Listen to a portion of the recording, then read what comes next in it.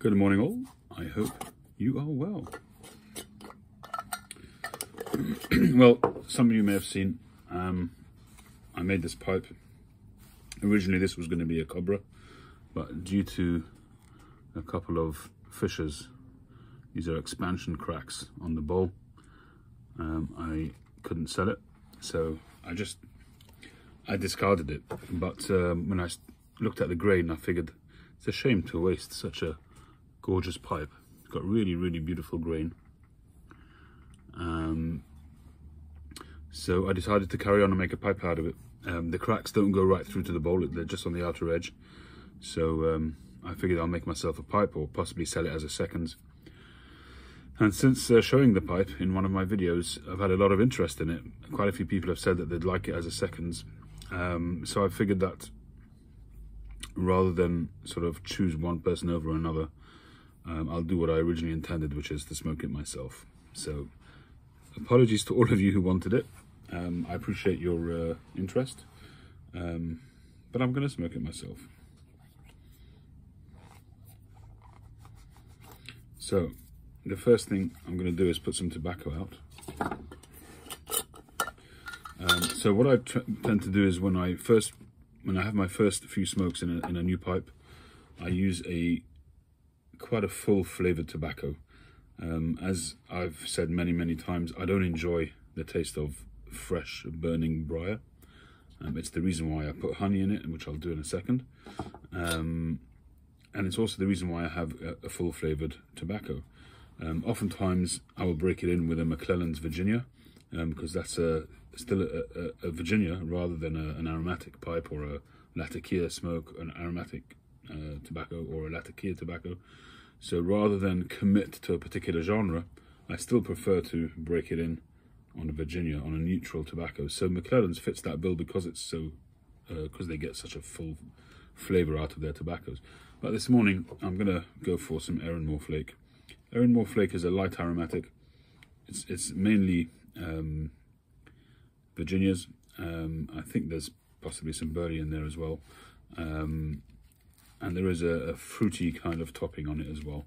I find the topping to be quite light. Some people say that it's uh, heavy. It's all according to your palate. A lot of people even call it a Lakeland, which I do not see at all. Um, I hate Lakelands, but I love this stuff. So go figure.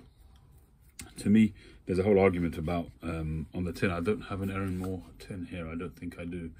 Um, hang on. Oh, yes, I do. I have one which has got my little bits and pieces in, my screws and things. So if you have a look over there, this little emblem, this little fig leaf or whatever it is up there, that used to be a pineapple, a picture of a pineapple. Um, so there used to be an argument about whether there's a pineapple flavouring on it. I personally do get a little bit of pineapple. Um, I always said so even before I knew about that emblem being on the tin. Um, other people just say it's a, like a juicy fruits type of flavour, which I get too. Um, and some people even call it a Lakeland. Um, I don't get any kind of floral notes here at all. None of the classic Lakeland uh, flavours, the um, geranium, rose petal, any of that kind of stuff. Um, there's none of that in here to my taste. It's just a nice gentle, fruity, aromatic. A little bit of tangy fruit. Um, I think it's a fantastic tobacco. Um, it's a tobacco that I'll often turn to when I don't know what I'm in the mood for. Um, and it just seems to hit the spot. Um, so now, let that dry for a minute or two. Now, the pipe itself. So, any obviously, whenever you start any new pipe, it's important to make sure that it's clear of any debris. Um, and uh, sometimes I must admit when I send out a new pipe I'll forget to, to clean it through um, and get rid of the dust. I usually do but it's possible that one forgets sometimes. So always just put a pipe cleaner through it, ideally with a bit of alcohol or something. Um, and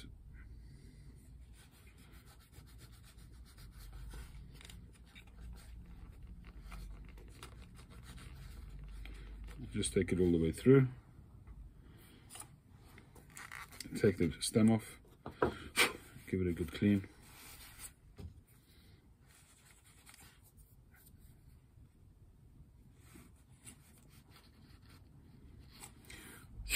Just blow it through.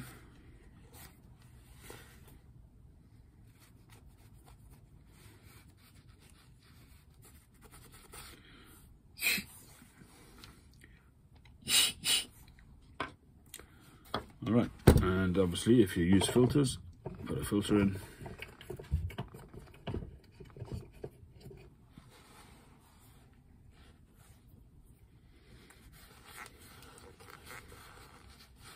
Now, people have um, differing reasons why they use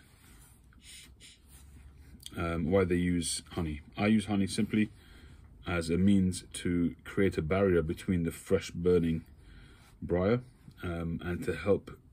The, most important reason is to assist and speed up the development of a carbon cake, um, a layer inside the bowl of the tobacco, which helps to protect the briar um, so that it doesn't get burnt out.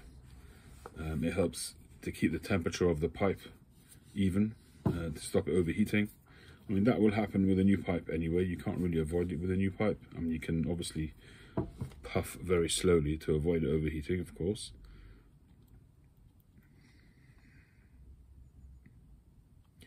So you just want a thin layer of honey all the way around the pipe. Just try to coat everywhere inside the pipe and then uh, you just get a tissue and wipe the rim because uh, you're always going to get a little bit on the outer edge of the rim.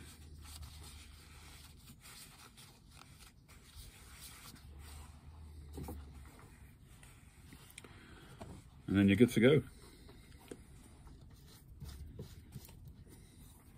Sometimes on some pipes, I'll even do it again on the second and third bowl. Add the honey again. If it's, um, I wouldn't do it with a narrow bowl. This is quite a narrow bowl, this one, because it's shallow. And I did it with a, a tapered bit, so the bit hadn't had the chance to widen because it was so shallow. So it's quite a narrow um, bowl, which suits me very well.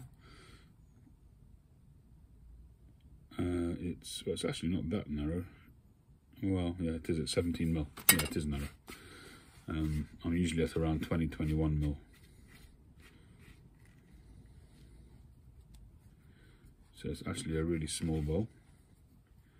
But um, that actually suits me very well. Because I tend to prefer half bowls of tobacco anyway. So that should be just fine for me. So I can load that up to the top and not worried about it taking me an hour to smoke through.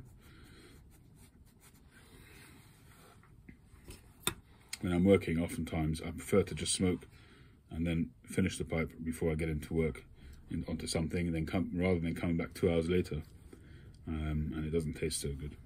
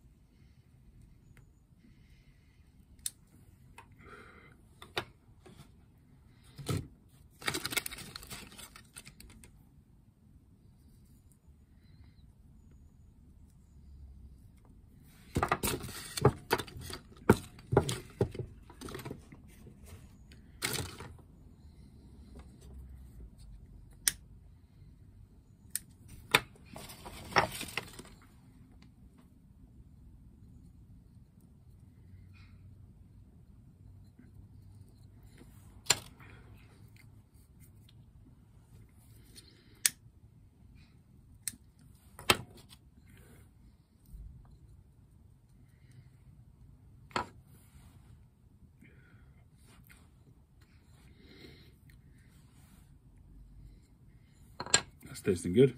Um, and it should hopefully not overheat too much because the walls are really thick on this pipe. So that's how I start off my new pipe, it's how I break in a pipe.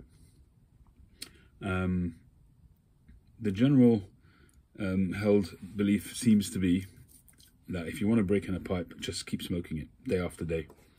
Um, whereas the, the general philosophy is that people say don't smoke a pipe day after day. Smoke it for a day, then let it rest for a few days, let it dry out,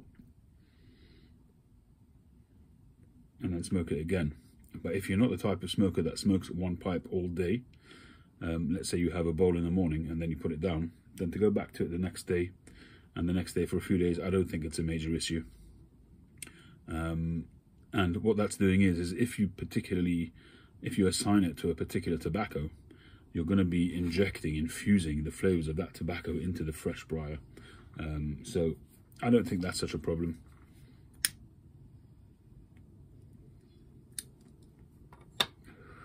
I think in, in, in our generation of pipe smokers, we're much fussier about how we look after our pipe collection. In in the days of yore, um, people had two or three pipes and they just smoked the out of them. And literally, they'll have one pipe or two pipes and they'll smoke them all the time. Um, and uh, they'll cake up and they'll, you know, get to a point where there's no room left for tobacco anymore because there's so much cake. And they would just sling them. They would just throw the pipe away and replace the pipe. So the idea of letting a pipe rest and, you know, we're very fussy about that. But, you know, if you don't let it rest for a few days, it's not the end of the world.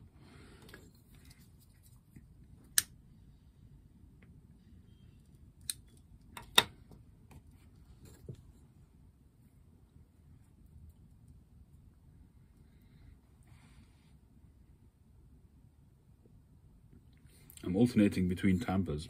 This is uh, the tamper that James made me, a beautiful tamper, which I use pretty much all the time. But when I'm starting off a pipe, any pipe, new or old, this one has a perfectly flat base. In fact, when I make tampers, I actually invert it and I make a, a sort of a, a, convex or concave, is it? A, concave inner, an inner curve um, on the base, and that gives you a very nice shape to the cherry. You want the cherry to be like a very small dome um, with the sides being lower than the top. Or in the very least, completely flat. This one has got rounded edges and it would do the opposite. It makes a U shape. What you actually want is an N shape. Very shallow one, but an N shape nonetheless. So I do use this once I've got the thing properly lit. But um, a flat-based tamper is really ideal, or one at least which has got a curve of an N shape, not a U shape. And don't push down, don't ram the tobacco in, just tap it, just gently tap it. All the, the whole idea of tapping, all you're doing is connecting the burning tobacco to the non-burning tobacco underneath it. That's all you're doing, is to, make, to help keep your pipe alight. Uh, I think I've actually packed it a little bit tight, that's why I have to keep lighting it. Not enough air getting to it. So, I'm very happy that I've kept this for myself. And again, sorry to everybody else. This is the pipe that I'm working on at the moment. This is a, a Calla Lily. Um, I've got to redo the stem. I, I messed up the stem yesterday, so I've got to start another one.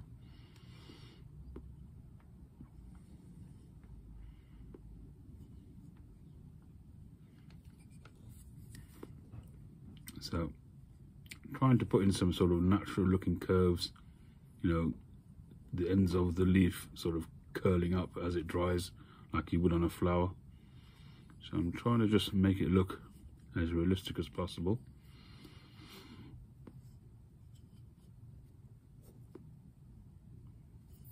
And uh, it's coming along nicely.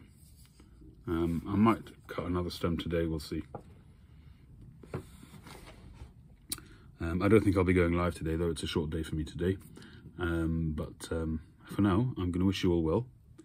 And for all those who celebrate the Jewish New Year, I wish you all a happy New Year, a happy new, sweet New Year, prosperous year, healthy year, and may we all um, get rid of this darned COVID, which is uh, blighting the planet. Let's hope that in the very, very near future, we will see the back of it. I wish you all well. I thank you all for your support. Um, I thank everybody for all the great comments. Um, I was watching uh, Onion, 2, 2 a.m. pipe on tobacco, uh, 2 a.m. pipe on the patio. And he was talking about not catching up with his comments and, you know, spending time now catching up. I have the same problem. I think a lot of us do. Um, it's not easy to keep uh, completely on top of comments. And I think I might do the same as him and do a, a cramming session and go back the last few videos and, and, and reply to comments.